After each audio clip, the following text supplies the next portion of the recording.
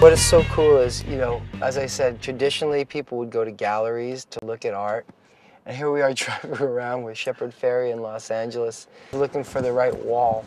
What you've done is you've made it more exciting. You've, you've opened up a, uh, our subconscious and, uh, and made us try to understand those kinds of things. To me, that's, the success, that's a success.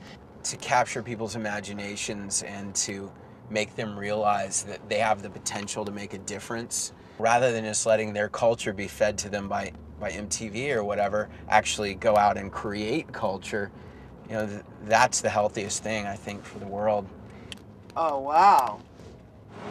You know, normally you don't see stuff that's this complex on the street of mine because most of what I'm doing is illegal. Right. And I'd never be able to Right, spend the time. hours to do something like this. But it's just a huge Xerox that's then painted in. Huge Xerox. Oh. Yeah. It's eight big pieces of paper. I'm really happy that a lot of people are seeing this, you know, not only because of the work, but, you know, the message I'm sending with it and everything.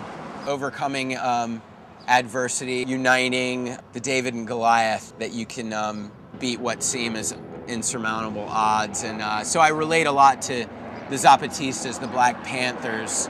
Yeah. Um, It's know- passive aggressive. You know that, right? you've got the rose, but you've got a machine gun. yeah, yeah. Shepard and Banksy are my favorite artists.